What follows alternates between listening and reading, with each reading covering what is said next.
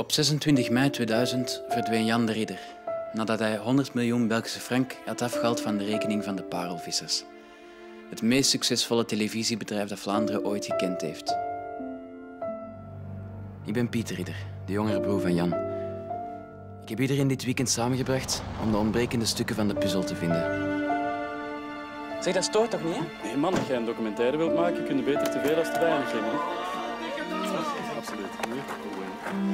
Xavier. Dik, Karel man. Zeker.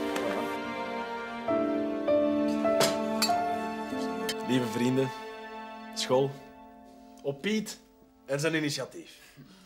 En toch ook op Jan, die dit eigenlijk fantastisch had gevonden. Ik heb ongeveer een maand geleden echt iets heel vreemds meegemaakt. Iets dat ik eerst tegen jullie wil vertellen. Oei, oei. Ik heb een brief van Jan gekregen. Brief van Jan? Dat zeg je nu pas.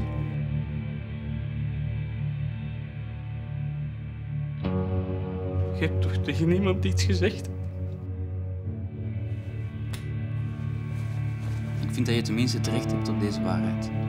Ik zal niet rusten voor ik ze kapot heb gemaakt.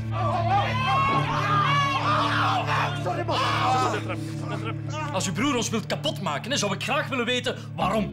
Als er iemand de sleutel heeft voor de verdwijning van Jan, dan is het wel Xavier. Is dat een camera of wat? Zijn je bang? Durf het niet te vertellen, Dick? Durf het niet te vertellen, Guido? Guido, doe de deur eens toe. Alles heeft hij gefilmd, Xavier. Alles.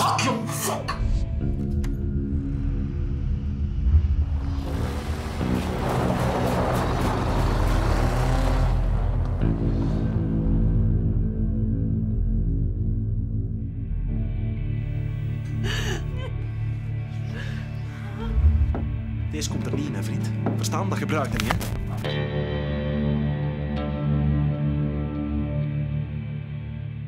Op Jan de Ridder.